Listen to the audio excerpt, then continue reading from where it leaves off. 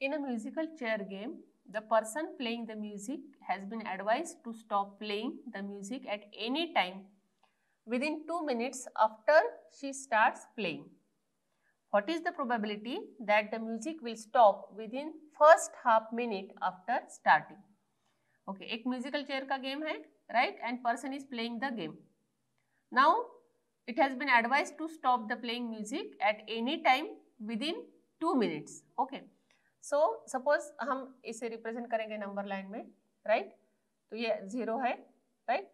तो यहाँ पे टू मिनट्स तक प्ले हो रहा है गेम टू मिनट्स तक प्ले हो रहा है गेम हमें क्या करना है we have to find out the probability that what is the probability that the music will stop within the first half minute after starting okay तो ये सपोज़ ज़ीरो ये हुआ वन बाई टू ये हुआ वन नेक्स्ट हुआ one plus one by two that is one and half and second हुआ two minute तो ये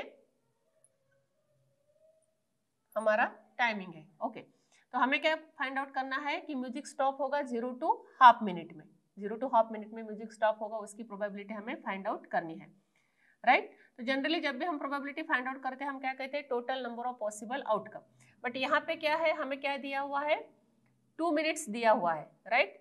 ये जो है सपोज़ हम इसको नंबर लाइन कंसिडर करेंगे सपोज़ हम इसको डिस्टेंस के इसमें डिफाइन करेंगे तो ज़ीरो टू टू मिनट के इसमें any at any time that can be stop okay musical chair जब प्ले करें तो ज़ीरो टू टू मिनट के इसमें वो कभी भी स्टॉप हो सकती है राइट right? तो वो ज़ीरो टू हाफ़ में भी स्टॉप हो सकती है हाफ़ टू वन मिनट में भी स्टॉप हो सकती है वन टू हाफ़ मिनट में भी स्टॉप हो सकती है राइट सो टोटल हम जब फाइंड आउट करेंगे प्रोबेबिलिटी हमें क्या फाइंड आउट करनी है? Probability for first half minute probability of first half minute okay तो हम वो कैसे डिफाइन करेंगे? दैट इज़ इक्वल टू कैसे लेंगे हम?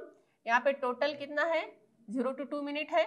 सो so, टोटल हमारा रहेगा zero to two so two minute and probability of first half minute तो ज़ीरो टू बीच ज़ीरो टू हाफ़ मिनट के बीच में वो कभी भी स्टॉप हो सके तो उसकी जो बनेगी that's that event that can be chair can be stop within the first half minute that will be half minute okay so this is the simple that will be equal to one by four उसकी probability बनेगी one by four मतलब musical chair play हो रही है तो zero to to minute के बीच में वो कभी भी स्टॉप हो सकती है।